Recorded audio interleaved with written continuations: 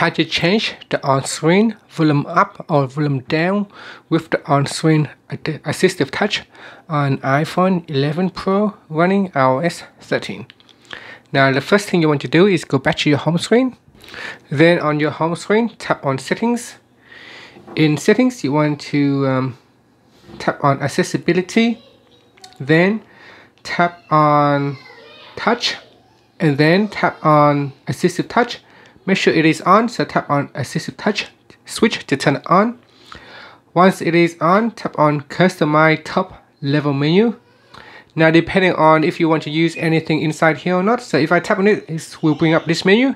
If you're not using any of the items in this menu, what we can do is we can remove uh, some of the icons. So we just want to leave two icons left, one for volume down and one for volume up.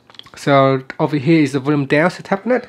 And we go all the way down to the bottom and we're going to choose volume down. Then tap on done. Next, we're going to tap on the one on the right hand side and we're going to choose volume up and then tap on done. So now we've got volume down and volume up. And then tap on the home key I'll go back here. So when I tap on this button here, it will bring up the menu and from here I can choose volume up or volume down. So there you go. Or if you want to use some other functions as well within this assistive touch menu, then what we can do is we can add more icons in here. So you see you can still have volume up and volume down. So instead, when we choose this one, I'm just going to reset that and then plus two more icons. And then I'm going to choose that one as home. So I'm going to tap on home. Okay, first we need to uh, remove that one.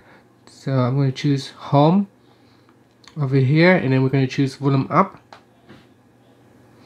Then I'm going to choose this one as volume down.